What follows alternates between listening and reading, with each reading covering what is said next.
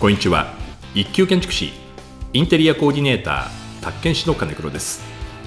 参院選で自民党が圧倒的な勝利になり来年住宅にも影響が出そうな消費税にも絡む住宅の価格の値上げをご紹介します。現在の消費税10%がいきなり税額がアップになるというわけではないんですけど自民党が過半数の議席を確保したことで消費税のインボイス制度が実施されることが確実になったことです。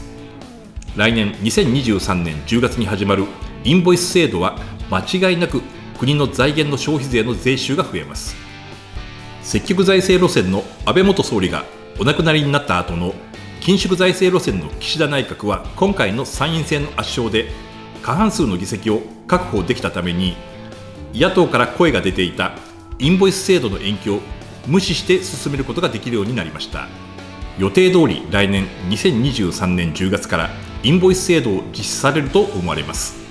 インボイス制度はエンドユーザーの住宅を建てる方にとって支払う消費税は10%で変わりませんが結局は住宅の価格が値上げにつながることで住宅を建てる人の負担が増えるようになると思います。今回はなぜインボイス制度の導入で住宅の価格が上がるのかについて解説します。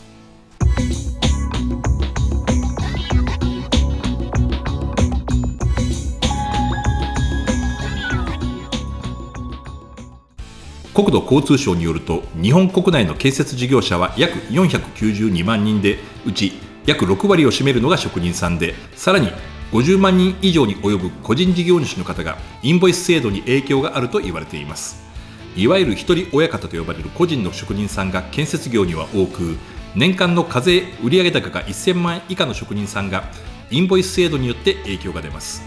年間の課税売上高が1000万円以下の職人さんは消費税を課税する課税業者か今まで通り免税業者のままで仕事を続けるか選択できますが発注する立場の人が免税業者に発注すると発注した側が多くの消費税を支払うことになるために利益を確保するため事実上は免税業者ではなく課税業者に仕事を発注するように変わっていくと思われます。年間で1000万円以下の職人さんは課税業者にならざるを得なくなっていきます。具体的には職人さんの立場からすると1日1万円で工事を請け負った場合消費税分の10%を加えた税込み1万1000円の請求書を発行して元請けはその税込み価格を支払います。現行の制度では年間の売り上げが1000万円以下であれば免税業者でしたので消費税1000円分は納税の必要はありませんでした。しかしインボイス制度の導入後は課税業者となり納税する必要があるので1000円分を消費税として納めるために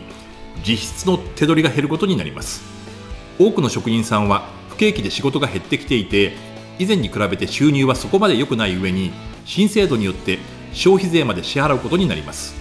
仕事を職人さんに発注する側からすると職人さんが納税による損失分を補うために消費税分の値上げを要求されることが考えられます。職人代が1割増えることになりかねません。つまり発注する住宅会社からすると職人さんへの原価が増えるために結局は住宅の価格の値上げにつながっていきます。インボイス制度は業者が支払う消費税ですが巡り巡って住宅を建てる人の費用負担につながります。政府としては税収を増やす目的のインボイス制度ですが巡り巡ってエンドユーザーの住宅を建てる人の費用負担が増えることにつながってしまいます。